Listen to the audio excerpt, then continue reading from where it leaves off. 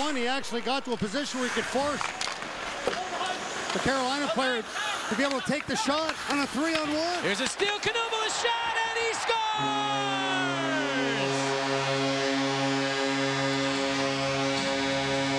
Welcome back to Philadelphia, Mike Knuble. This time it's a turnover by the Hurricanes. And Knuble takes advantage. It's 4-2 Philadelphia. Knuble scores for a case of Tastykake, and we may have a goaltending change upcoming for the Canes. Turnover leads to night over for Dan Ellis.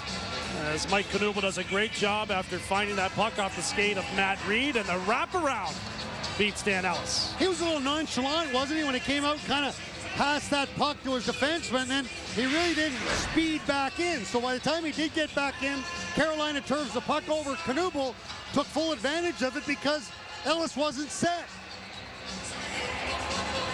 So Cam Ward is getting ready. I didn't know as if you could actually delay the game to get the goalie, and you're supposed to have him ready.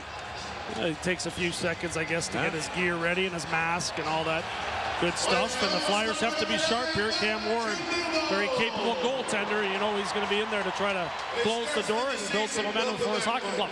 Hockey's a humbling game, though. Ellis, 33 saves, his 13th career shutout last night. He's gone 52 seconds into the second period, one night later. So Ward, Conn Smythe Award winner now between the pipes for the. Been